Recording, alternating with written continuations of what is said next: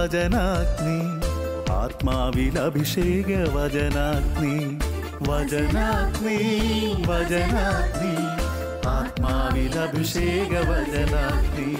ദേശങ്ങൾ രാജ്യങ്ങൾ ഗോത്രങ്ങൾ വംശങ്ങളെങ്ങും അറിയട്ടെ വചനാഗ്നി. ദേശങ്ങൾ രാജ്യങ്ങൾ ഗോത്രങ്ങൾ വംശങ്ങളെങ്ങും പടരട്ടെ വചനാഗ്നി. പടരട്ടെ പടരട്ടെ.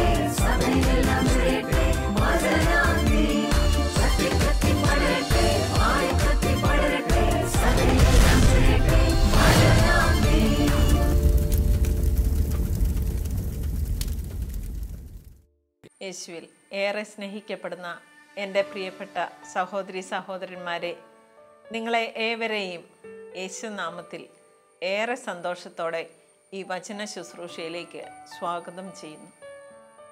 ഈ അടുത്ത ദിവസം ഒരു ഗവൺമെന്റ് സ്ഥാപനത്തിൽ കുറേയേറെ വർഷങ്ങൾ ജോലി ചെയ്തതിന് ശേഷം വിരമിക്കലിനോട് അനുബന്ധിച്ചുള്ള ഒരു മീറ്റിങ്ങിൽ പങ്കെടുക്കാനിടയായി.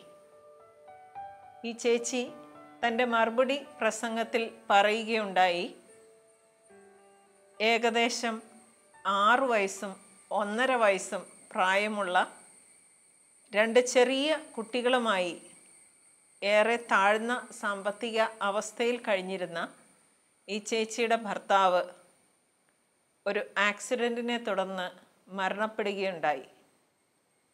ഭർത്താവിന്റെ വീട്ടിൽ മറ്റ് നാല് സഹോദരങ്ങളുമായി ഒന്നിച്ച് ജീവിച്ചിരുന്ന ഒരു കുടുംബമായിരുന്നു അത്. ചേച്ചിയുടെ ഭർത്താവ് ആ കുടുംബത്തിലെ മൂത്ത ആൺകുട്ടിയായിരുന്നതിനാൽ താഴെയുള്ള എല്ലാ സഹോദരങ്ങളുടെയും സുഖമില്ലാത്ത മാതാപിതാക്കളുടെയും കാര്യമെല്ലാം അന്നന്ന് കിട്ടുന്ന വരുമാനത്തിൽ കഷ്ടിച്ച് എങ്ങനെയൊക്കെയോ ഒന്ന് കൂട്ടിച്ചേർത്ത് മുന്നോട്ട് കൊണ്ടുപോകുമ്പോഴാണ് ഈ ഒരു ദുരന്തം ആ കുടുംബത്തെ തേടിയെത്തിയത്. സ്വന്തമായി യാതൊന്നുമില്ലാത്ത ഈ രണ്ട് പറക്കമുറ്റാത്ത കുഞ്ഞുങ്ങളുമായി ചേച്ചി ഏകദേശം ആറു മാസത്തോളം ആ കുടുംബത്ത് ഒരുപാട് കഷ്ടപ്പെട്ട് മാനസികമായിട്ടുള്ള കുറ്റപ്പെടുത്തലുകളും എല്ലാം ഏറ്റുവാങ്ങി കഴിയുകയുണ്ടായി. ഒരു ഹിന്ദു സമുദായത്തിൽപ്പെട്ടിരുന്ന ചേച്ചിയോട് ചേച്ചിയുടെ കാലദോഷം കൊണ്ടാണ് ഭർത്താവ് ഈ പ്രായത്തിൽ മരിക്കാനിടയായത് എന്നുവരെ കുടുംബാംഗങ്ങളും അല്പം അകന്ന ബന്ധുക്കളും എല്ലാം കുറ്റപ്പെടുത്തി സംസാരിക്കുവാൻ തുടങ്ങി. ഭർത്താവ് നഷ്ടപ്പെട്ട വിഷമത്തിൽ നീറിക്കഴിഞ്ഞിരുന്ന ചേച്ചിക്ക് താങ്ങാൻ ഒരുപാട് ബുദ്ധിമുട്ടുണ്ടാക്കുന്നതായി ആ കുടുംബത്തിലെ അനുഭവങ്ങൾ. മാത്രമല്ല ഭക്ഷണത്തിനും ഭക്ഷണം വയ്ക്കുന്നതിനും എല്ലാം നിയന്ത്രണങ്ങൾ ഏറി വന്നതോടെ കയ്യിൽ ഒരു പൈസ പോലും വരുമാനമില്ലാതിരുന്ന ഈ ചേച്ചി മറ്റുള്ളവരുടെ ദയയിലും ദാക്ഷിണ്യത്തിലും മുന്നോട്ട് നീങ്ങേണ്ടതായി വന്നു. ചേച്ചി തുടർന്നു. ഏകദേശം ആറുമാസം കഴിഞ്ഞപ്പോഴേക്കും ഈ കുടുംബത്ത് ഇനി മുന്നോട്ട് പോകാൻ പറ്റാത്ത ഒരു അവസ്ഥയിലായി ചേച്ചിയുടെ ജീവിതം. കാരണം ചേച്ചിയും രണ്ട് കുഞ്ഞുങ്ങളും ആ കുടുംബത്തിന് ഒരു ഭാരമാകും എന്ന് കണ്ടതോടെ എങ്ങനെയെങ്കിലും സ്വന്തം വീട്ടിലോട്ട് ഈ ചേച്ചി സ്വമനസ പോകട്ടെ എന്ന് വിചാരിച്ച് അവർ ഏറെ മാനസികമായി പീഡിപ്പിക്കാനായി ആരംഭിച്ചു. സ്വന്തം വീട്ടിൽ യാതൊരു നിവൃത്തിയും ഇല്ലാതിരുന്ന ചേച്ചി അങ്ങോട്ട് തിരിച്ചു ചെന്നാൽ എന്താകും എന്ന് ചിന്തിച്ച് വീണ്ടും ഒരു മൂന്ന് മാസം കൂടെ ഉന്തിയും തള്ളിയും ഈ കുടുംബത്തിൽ തന്നെ ചെലവിട്ടു. എന്നാൽ ദിവസേനയുള്ള വഴക്കുകളുടെ അവസാനം കരച്ചിലും രാത്രിയിലേറെ നേരം ഉള്ള ഏങ്ങലടിയും എല്ലാമായി ശാരീരികമായും മാനസികമായും ഏറെ തളർന്ന ചേച്ചി അവസാനം സ്വന്തം വീട്ടിലേക്ക് പോകാൻ നിർബന്ധിതയായി. അച്ഛൻ മരിച്ച് ഏറെ നാളുകൾ കഴിഞ്ഞിട്ടില്ല എന്നതിനാൽ അമ്മ അടുത്ത വീടുകളിലെല്ലാം ചെറിയ വീട്ടുജോലി ചെയ്താണ് സ്വയം കഴിഞ്ഞിരുന്നത്. ആ ഒരു കുടുംബത്തിലേക്കാണ് ചേച്ചിയും രണ്ട് കുഞ്ഞു മക്കളും ആയിട്ട് കയറി ചെല്ലാനിടയായത്. അമ്മ ഏറെ വിഷമിച്ചു സങ്കടപ്പെട്ടു. ചേച്ചി പറയുകയാണ് ആത്മഹത്യ ചെയ്താലോ എന്ന് തോന്നിയ ദിവസങ്ങളായിരുന്നു അത്. കാരണം സുഖമില്ലാത്ത അമ്മ തങ്ങളെ സംരക്ഷിക്കേണ്ട ബാധ്യത കൂടെ ഏറ്റെടുക്കേണ്ടി വരുന്നത് ചേച്ചിയെ സംബന്ധിച്ചിടത്തോളം ഏറെ വേദനാജനകമായിരുന്നു. വളരെയേറെ ആളുകളുടെ ശുപാർശയും മറ്റ് ലഭിച്ചതിന്റെ പിന്നാലെ ഒരു ചെറിയ ചെരുപ്പ് ഫാക്ടറിയിൽ വളരെ ചെറിയ ഒരു ജോലി. എന്നാൽ രാവിലെ ഏഴ് മണി മുതൽ വൈകുന്നേരം ആറര വരെ ജോലി ചെയ്യേണ്ടതായി വന്നെങ്കിൽ കൂടെ കുഞ്ഞുങ്ങളെ നോക്കണമല്ലോ വീട്ടിലെ കാര്യങ്ങൾ മുന്നോട്ട് നീങ്ങണമല്ലോ എന്നുള്ള ചിന്തയാൽ ആ ജോലി ഏറ്റുവാങ്ങുകയും അതുവരെ ജോലി ചെയ്ത് യാതൊരു പരിചയമില്ലാത്ത ചേച്ചി മറ്റുള്ളവരോടൊപ്പം ഏറെ ശാരീരികമായി തന്നെ കൊണ്ട് പറ്റാഞ്ഞിട്ടും കഷ്ടപ്പെട്ട് ജോലി ചെയ്യുകയും ചെയ്തു. വൈകിട്ട് വീട്ടിൽ വന്നു കഴിഞ്ഞാൽ ഒറ്റപ്പെടലിന്റെ വേദന കുഞ്ഞുങ്ങളുടെ ചെറിയ വാശിയും വഴക്കുകളും ഇവരെ സ്കൂളിൽ ചേർത്ത് പഠിപ്പിക്കുന്നതിന്റെ ആവശ്യം തിരിച്ചു വന്ന് കുട്ടികളോട് അറിയാതെ ദേഷ്യപ്പെടാൻ ആരംഭിച്ചു. വളരെയേറെ ബുദ്ധിമുട്ടി. എന്നാൽ ഏകദേശം നാല് വർഷങ്ങൾക്ക് ശേഷം ചേച്ചിയുടെ ഭർത്താവിന്റെ വീട്ടിലെ സ്വത്തുക്കൾ എല്ലാം ഭാഗം വെച്ചപ്പോൾ ഒരു സെന്റ് ഭൂമി പോലും ആ കുടുംബത്തിലെ ഒരു അംഗത്തിന്റെ മക്കളായ ഈ കുഞ്ഞുങ്ങൾക്ക് പോലും എഴുതി വയ്ക്കാതെ അവർ ഭാഗം ചെയ്യുകയുണ്ടായി എന്ന ഏകദേശം ഭാഗം വയ്ക്കലിന് നാല് മാസത്തിന് ശേഷമാണ് ചേച്ചി അറിയാനിടയായത്. എന്തെങ്കിലും ലഭിക്കും എന്നുള്ള ചിന്തയാൽ കഴിഞ്ഞിരുന്ന ചേച്ചി ഫോൺ ചെയ്ത് ചോദിക്കുകയുണ്ടായി. ആ കുടുംബത്തിലെ കുട്ടികളാണല്ലോ ഇവർ രണ്ടുപേരും. ഇവർക്കെങ്കിലും എന്തെങ്കിലും തരണമെന്ന് തോന്നിയില്ലല്ലോ. അപ്പോൾ ഭർത്താവിന്റെ വീട്ടുകാർ പറഞ്ഞത്രേ നീ വേണമെങ്കിൽ കേസ് കൊടുത്ത് നേടുക. രണ്ടാമത് വിവാഹം ചെയ്യുകയോ വല്ലതും ചെയ്യുകയാണെങ്കിൽ ഞങ്ങളുടെ സ്വത്ത് വേറെ ഒരാളുടെ കയ്യിൽ ചെന്നെത്തുകയില്ലേ എന്ന്. ചേച്ചി പറയുകയാണ് വിവാഹത്തിന്റെ അന്ന് മുതൽ ഏകദേശം ഏഴ് വർഷത്തോളം ആ കുടുംബത്തിൽ ജീവിച്ചു. ചേച്ചിയുടെ എല്ലാ ആവശ്യങ്ങളും മാറ്റിവെച്ച് ഭർത്താവിന്റെ സഹോദരങ്ങളുടെയും മാതാപിതാക്കളുടെയും ആവശ്യങ്ങൾക്കായി ചെലവഴിക്കുകയായിരുന്നു. ഓരോ ദിവസവും ചേച്ചിയുടെ ഭർത്താവിന് കിട്ടിക്കൊണ്ടിരുന്ന വരുമാനം അതെല്ലാം മനസ്സിൽ വെച്ച് സഹോദരങ്ങളുടെ പഠനത്തിലും എല്ലാം വളരെ നിർണായകമായ പങ്കുവഹിച്ചിരുന്ന ചേച്ചിയുടെ ഭർത്താവിനെയോ കുഞ്ഞുങ്ങളെയോ അല്പം പോലും ഓർമ്മയിൽ കൊണ്ടുവരാതെ നടത്തിയ ഈ സ്വത്ത് ഭാഗം വെക്കൽ ചേച്ചിയെ സംബന്ധിച്ചിടത്തോളം ഒരു ആഘാതമായി മാറി. ചേച്ചി വീണ്ടും പറഞ്ഞു ആ നാട്ടിലെ കുറച്ച് പ്രമുഖരായ വ്യക്തികളെ എല്ലാം സമീപിച്ച് ഈ കാര്യം പറഞ്ഞെങ്കിലും ഏറെ പക്ഷഭേദം നേരിടുന്ന രീതിയിൽ ആ കുടുംബത്തിലെ പെൺകുട്ടികൾക്ക് പോലും കൊടുത്ത സ്വത്തിന്റെ ഒരംശം പോലും അപ്പൻ മരിച്ചുപോയ ഈ കുഞ്ഞുങ്ങൾക്കായിട്ട് നീക്കി വയ്ക്കാൻ തയ്യാറായില്ല. ഏറെ വേദനയോടെ ഇത്രയും വർഷങ്ങൾ ജോലി ചെയ്ത് മകളെ പഠിപ്പിച്ചു. ഒരുപാട് വലിയ നിലയിലൊന്നും പഠിപ്പിക്കാൻ സാധിച്ചില്ല. എങ്കിലും വളരെ മോശമല്ലാത്ത ഒരു നിലയിൽ ഈ പെൺകുട്ടിയെ വിവാഹം കഴിച്ചയക്കാൻ സാധിച്ചു. മകൻ ചെറിയ ജോലിയാണെങ്കിലും ദിവസേന പോയി വരുന്ന ഒരു പെയിന്റിങ് ജോലിയിൽ ഏർപ്പെട്ടുകൊണ്ടിരിക്കുന്നു. ഏറെ വർഷങ്ങൾക്ക് ശേഷം അതായത് ഈ സ്വത്ത് ഭാഗം വെച്ചൊന്നും കിട്ടാതായതിന്റെ അഞ്ച് ആറ് വർഷങ്ങൾക്ക് ശേഷം വളരെ താഴ്ന്ന ഒരു തസ്തികയിൽ ഗവൺമെന്റ് ജോലി അന്ന് അത്ഭുതകരമായി കിട്ടുകയും ആദ്യം ടെമ്പററി ആയിട്ട് താൽക്കാലികമായിട്ടുള്ളൊരു ജോലിയാണെങ്കിലും ചെറിയ ഒരു ജോലിയിൽ സ്ഥിരപ്പെടുകയും ചെയ്തു. ഏകദേശം പതിനഞ്ച് വർഷത്തോളം ഗവൺമെന്റ് സർവീസിൽ ജോലി ചെയ്ത് കിട്ടിയ വരുമാനം മുക്കാലും മിച്ചം വെച്ച് ഒരു ചെറിയ ഷെഡ് അടിച്ച് അതിൽ താമസിക്കാനായി ആരംഭിച്ചു. ഇതിനോടിടയ്ക്ക് പ്രായമായ ചേച്ചിയുടെ അമ്മ മരിച്ചു പോവുകയും ചെയ്തിരുന്നു.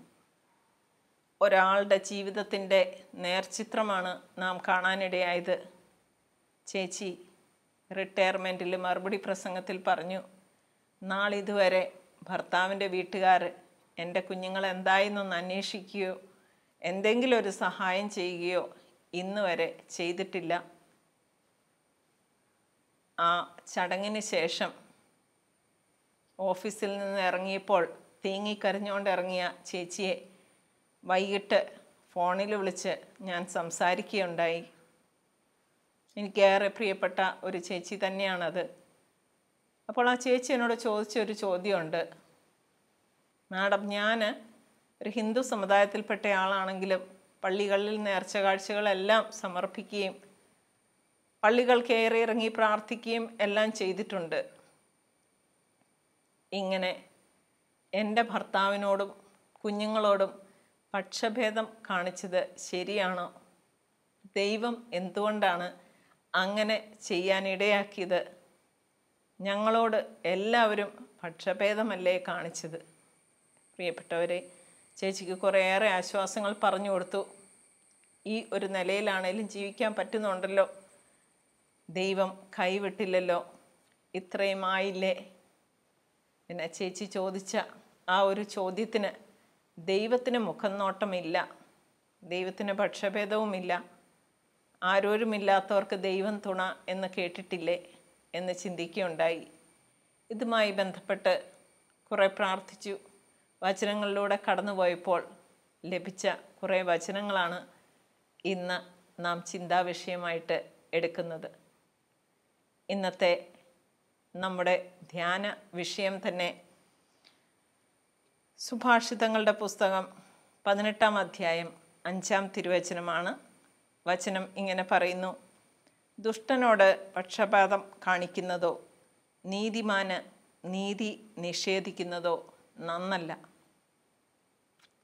തീർച്ചയായിട്ടും പക്ഷപാതം എന്ന് പറയുന്നത് എല്ലാ പ്രായക്കാരും ഏറെ വിഷമത്തോടെ കൗൺസിലിങ്ങിലൊക്കെ പറയുന്ന കാര്യങ്ങളാണ്. മാതാപിതാക്കൾ മക്കളോട് പക്ഷഭേദം കാണിക്കുന്നു. അധികാരികൾ തന്റെ കീഴിൽ ജോലി ചെയ്യുന്നവരോട് പക്ഷഭേദം കാണിക്കുന്നു. തുടങ്ങി വിവിധ തുറകളിൽപ്പെട്ടവരെല്ലാം ഈ പക്ഷപാതത്തെ പറ്റി പറയാറുണ്ട്. നമുക്ക് വചനം എന്താണ് പറയുന്നത്? നമ്മളുടെ പ്രവൃത്തികളിലേക്ക് ഒരു കണ്ണാടി എന്ന പോലെ വചനം പിടിച്ചു നോക്കുമ്പോൾ നമ്മുടെ പ്രവർത്തന ശൈലിയിൽ പക്ഷപാതം കടന്നു വന്നിട്ടുണ്ടോ? ഉണ്ടെങ്കിൽ ദൈവം അതേപ്പറ്റി എന്തു പറയുന്നു? ഇതിനെ സംബന്ധിച്ച ഏതാനും വചനങ്ങളിലൂടെ നാം ഒന്ന് കടന്നു പോവുകയാണ്. നിയമാവർത്തന പുസ്തകം ഒന്നാം അധ്യായം പതിനേഴാം തിരുവചനം. വചനം ഇങ്ങനെ പറയുന്നു ന്യായം വിധിക്കുന്നതിൽ പക്ഷപാതം കാണിക്കാതെ ചെറിയവന്റെയും വലിയവന്റെയും വാദങ്ങൾ ഒന്നുപോലെ കേൾക്കണം. ന്യായവിധി ദൈവത്തിന്റേതാകിയാൽ നിങ്ങൾ മനുഷ്യരെ ഭയപ്പെടേണ്ട. നമ്മ ചില അവസരങ്ങളിൽ നീതി വിധിക്കാനായി നിയോഗിക്കപ്പെടാറുണ്ട്. നീതിയോടെ ന്യായം വിധിക്കുന്ന കർത്താവാണ് നമ്മുടെ മുൾമുമ്പിലുള്ളത് അതിനാൽ ഒരിക്കലും മനുഷ്യനെ ഭയപ്പെടേണ്ട കാര്യമില്ല. കാരണം തീരുമാനം ന്യായവിധി ദൈവത്തിന്റേതാണ്. എന്നാണ് വചനം പറഞ്ഞിരിക്കുന്നത്. വീണ്ടും നിയമാവർത്തന പുസ്തകം തന്നെ പതിനാറാം അധ്യായം പത്തൊമ്പതാം വചനം ഇങ്ങനെ പറയുന്നു. നിന്റെ വിധികൾ നീതി വിരുദ്ധമാകരുത്.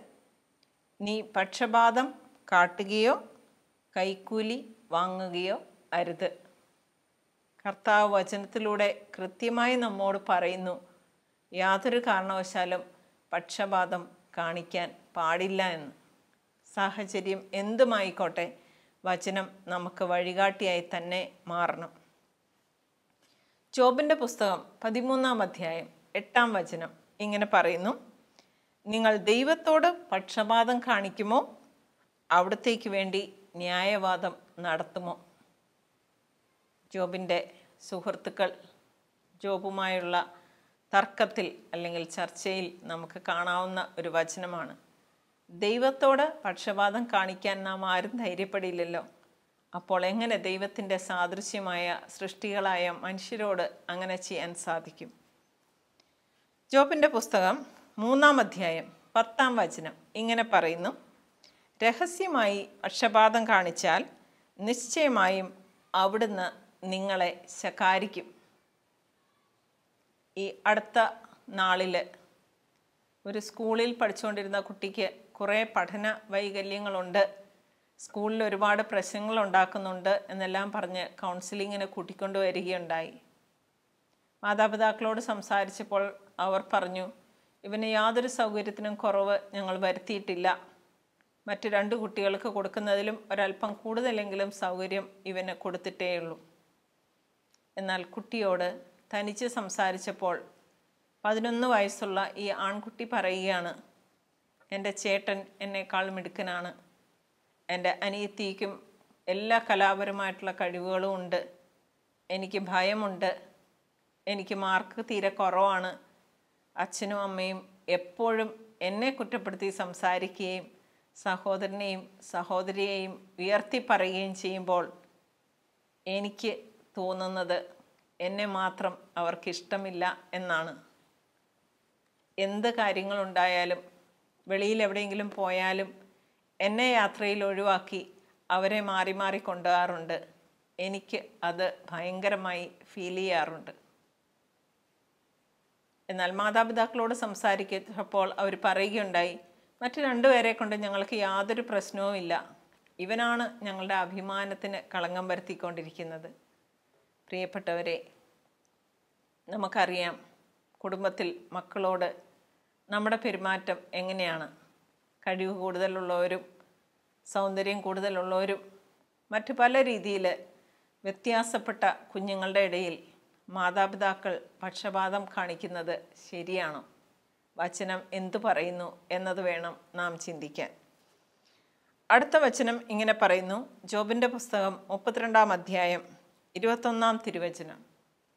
ഞാൻ ആരോടും പക്ഷപാതം കാണിക്കുകയില്ല ഒരു മനുഷ്യനോടും മുഖസ്തുതി പറയുകയുമില്ല. ഇതായിരിക്കണം നമ്മുടെ മനോഭാവം എന്ന് വചനം അനുശാസിക്കുന്നു. സുഭാഷിതങ്ങളുടെ പുസ്തകം ഇരുപത്തിനാലാം അധ്യായം ഇരുപത്തിമൂന്നാം വചനം ഇങ്ങനെ പറയുന്നു ഇനി പറയുന്നവയും ജ്ഞാനികളുടെ സൂക്തങ്ങളാണ്. ന്യായം വിധിക്കുന്നതിൽ പക്ഷപാതം പാടില്ല. ന്യായം വിധിക്കാനായി നിയമ സന്നിധിയിലേക്ക് വളരെ ദരിദ്രരായ വ്യക്തികൾ കടന്നു വരുമ്പോൾ തെറ്റ് ചെയ്ത ആൾക്കാരുടെ കയ്യിൽ നിന്ന് പൈസയോ ബാക്കി ശുപാർശകളോ സ്വീകരിച്ചിട്ട് ദരിദ്രന് എതിരായി വിധി പ്രസ്താവിക്കുന്നത് പക്ഷപാതം തന്നെയല്ലേ? പാവപ്പെട്ട മക്കളുടെ കണ്ണീര് നിലവിളി ഈശ്വര സന്നിധിയിൽ എത്താതിരിക്കുമോ?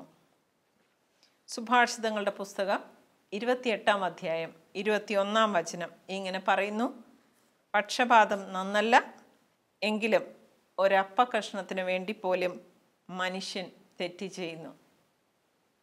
തെറ്റ് ചെയ്ത ആളെ പ്രസാദിപ്പിക്കാനും ചില ലൗകികമായിട്ടുള്ള ചെറിയ കാര്യങ്ങൾ ലഭിക്കാനും വേണ്ടി എങ്ങനെ പക്ഷപാതം നമ്മുടെ സമൂഹത്തിൽ നടക്കുന്നു എന്ന് ഞാനും നിങ്ങളും ഓരോ ദിവസവും അനുഭവിച്ചറിയുന്ന വ്യക്തികളാണല്ലോ. എന്തിനു വേണ്ടിയിട്ടാണ് ഈ നീതിവിരുദ്ധമായ വിധി പ്രസ്താവിക്കുകയും തെറ്റ് ചെയ്തവരുടെ പക്ഷം പിടിച്ച് പക്ഷപാതത്തോടെ പാവപ്പെട്ട ആൾക്കാരെ തെറ്റുകാരാക്കി ചിത്രീകരിക്കുകയും ചെയ്യുന്നത്? ചെറിയ ഒരു സ്ഥാനക്കയറ്റത്തിന് വേണ്ടിയോ ഒരല്പം പൈസയ്ക്ക് വേണ്ടിയോ വചനം അനുശാസിക്കുന്ന പോലെ ഒരു ചെറിയ അപ്പക്കഷ്ണത്തിന് വേണ്ടിയോ ആകാനാണ് സാധ്യത അല്ലേ? നമുക്ക് വചനത്തിലേക്ക് കൂടുതൽ ശ്രദ്ധ കൊടുക്കാം. പ്രഭാഷകന്റെ പുസ്തകം മുപ്പത്തഞ്ചാം അധ്യായം പതിനാറാം വചനം. ഇങ്ങനെ പറയുന്നു അവിടുന്ന് ദരിദ്രനോട് പക്ഷപാതം കാണിക്കുന്നില്ല. തിന്മയ്ക്ക് വിധേയനായവന്റെ പ്രാർത്ഥന അവിടുന്ന് കേൾക്കും. ദരിദ്രൻ തന്നെ വിളിച്ച് കരഞ്ഞാൽ കർത്താവ് തീർച്ചയായും ആ പ്രാർത്ഥന കേൾക്കും. നീതി ദൈവസന്നിധിയിൽ നിന്ന് അല്പം വൈകിയാണെങ്കിലും ലഭിക്കും എന്നതിൽ സംശയമില്ല. യശയുടെ പുസ്തകം മൂന്നാം അധ്യായം ഒമ്പതാം തിരുവചനം ഇങ്ങനെ പറയുന്നു. അവരുടെ പക്ഷപാതം അവർക്കെതിരെ സാക്ഷി നൽകുന്നു. അവർ തങ്ങളുടെ പാപം മറയ്ക്കാതെ സോതോമിനെ പോലെ ഉദ്ഘോഷിച്ചുകൊണ്ടേയിരിക്കുന്നു. പക്ഷപാതം അവർക്കെതിരെ സാക്ഷ്യം നൽകുന്നു എന്നാണ് വചനം പറഞ്ഞിരിക്കുന്നത്. അറിഞ്ഞോ അറിയാതെയോ പക്ഷപാതം കാണിക്കുന്ന സ്വഭാവ സവിശേഷത നമ്മിലുണ്ടെങ്കിൽ വചനം ഇന്ന് ശക്തമായി നമ്മളോട് ഉദ്ബോധിപ്പിക്കുകയാണ്. അത് നിർത്തി വചനം അനുസരിച്ച് മുന്നോട്ട് പോകണമെന്ന്. മലാഖിയുടെ പുസ്തകം രണ്ടാം അധ്യായം ഒമ്പതാം വചനം ഇങ്ങനെ പറയുന്നു. നിങ്ങൾ എന്റെ മാർഗങ്ങൾ അനുവർത്തിക്കാതെ പ്രബോധനം നൽകുമ്പോൾ എത്രമാത്രം പക്ഷപാതം കാണിച്ചുവോ അത്രമാത്രം ഞാൻ നിങ്ങളെ ജനം മുഴുവന്റെ മുമ്പിൽ നിന്ദിതരും നികൃഷ്ടരും ആക്കും. പ്രിയപ്പെട്ടവരെ വിദ്യാലയങ്ങളിലും കോളേജുകളിലും മറ്റും പല വിദ്യാർത്ഥികളും പറയാറുണ്ട് ടീച്ചർമാരുടെ ഭാഗത്തു നിന്നും അധികാരികളുടെ ഭാഗത്തു നിന്നും ഒക്കെ ഉണ്ടാകുന്ന പക്ഷപാതവും അതനുസരിച്ചുള്ള മാർക്കും എല്ലാം.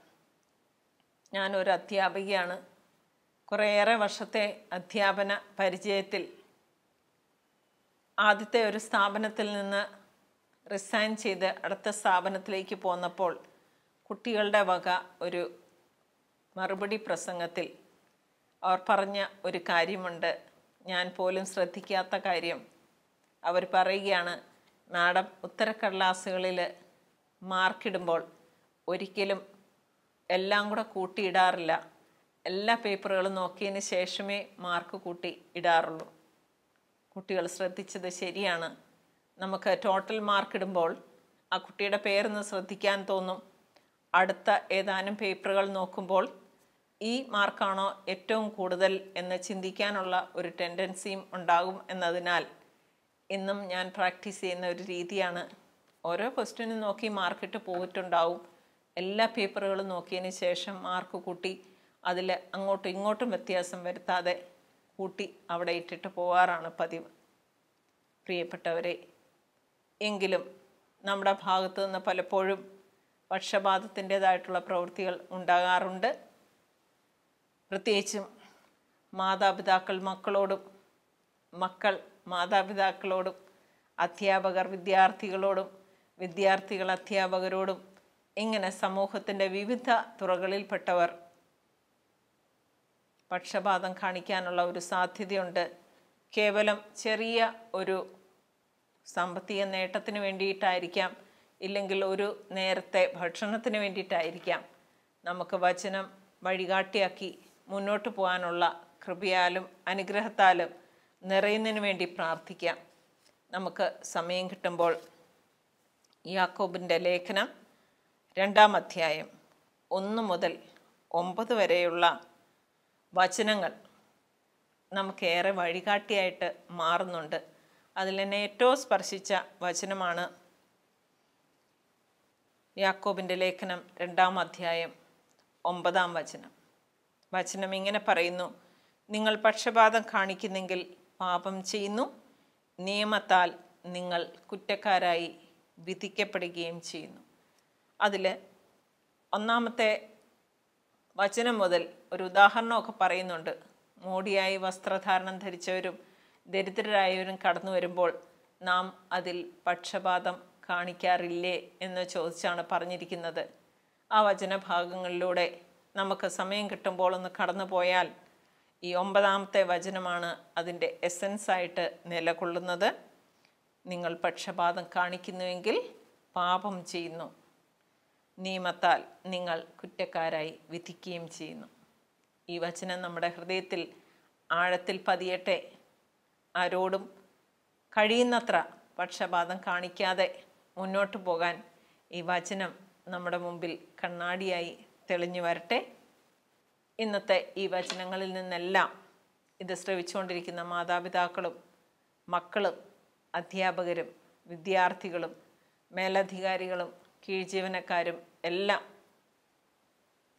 മറ്റുള്ളവർക്ക് വേദന ഉണ്ടാകുന്ന രീതിയിൽ നമ്മൾ അറിഞ്ഞ് പക്ഷപാതം കാണിക്കുന്ന ഒരു സ്വഭാവമുണ്ടെങ്കിൽ ചില ആൾക്കാരെ നമ്മൾക്ക് ഇഷ്ടവും ചില ആൾക്കാരെ നമുക്ക് ഇഷ്ടമില്ലായ്മയും ഒക്കെ വരികയും അത് മനസ്സിൽ വെച്ചുകൊണ്ടിരിക്കുകയും പ്രകടിപ്പിക്കുകയും ഒക്കെ ചെയ്യുന്നുണ്ടെങ്കിൽ ഈ വചനങ്ങളുടെ അടിസ്ഥാനത്തിൽ അതിലൊരു മാറ്റം വരുത്താൻ നമുക്ക് സാധിക്കട്ടെ. മാത്രമല്ല പക്ഷപാതത്താൽ ഏറെ മനസ്സ് വിഷമിച്ച് ഇന്നും ക്ഷമിക്കാൻ പറ്റാതെ അത് തന്നെ ചിന്തിച്ച് വിഷമിച്ചുകൊണ്ടിരിക്കുന്ന ഒരുപാട് ആൾക്കാർക്ക് ദൈവത്തിൽ നിന്ന് തക്ക സമയത്ത് അനുഗ്രഹം ലഭിക്കും എന്നും ദൈവത്തിന് മുഖന്നോട്ടമില്ല എന്നും മനസ്സിലാകുമ്പോൾ മനുഷ്യരിലല്ല ദൈവത്തിൽ ആശ്രയിക്കാനും തക്ക സമയത്ത് നീതിപൂർവകമായ വിധികളും അനുഗ്രഹങ്ങളും ദൈവത്തിൽ നിന്ന് വരും എന്ന് കരുതി മനസ്സിലെ ഭാരവും ദുഃഖവും എല്ലാം വിട്ട് ദൈവത്തോട് ചേർന്ന് നിൽക്കാനുള്ള ഒരു കൃപ ലഭിക്കുന്നതിനായും നമുക്ക് നമ്മുടെ കണ്ണുകളെ അടച്ച് പ്രാർത്ഥനയിലേക്ക് കടക്കാം.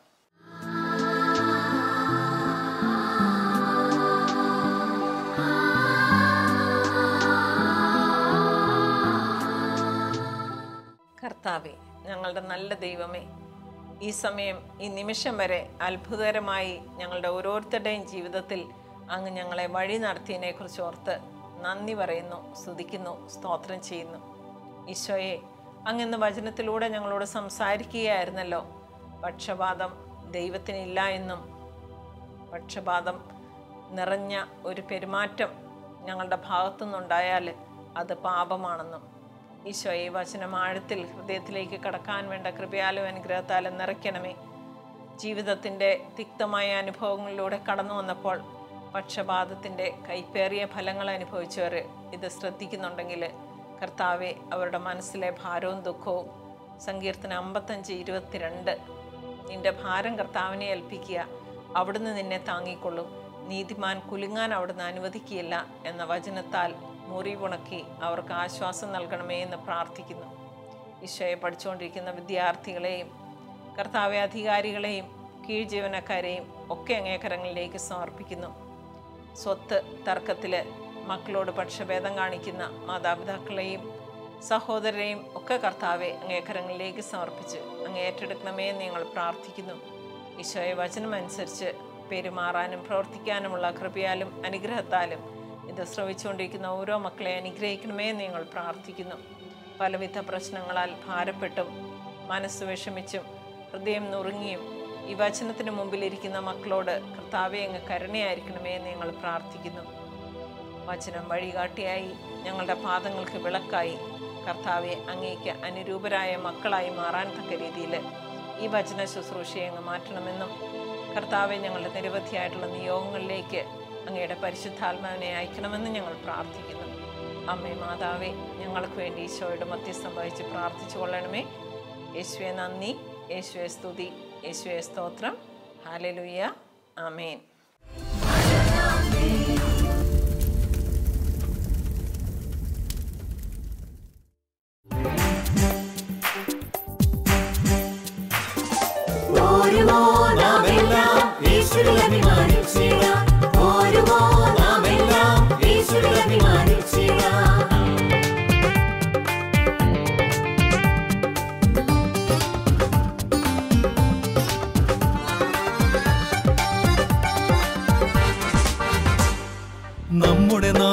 اللي بمنيل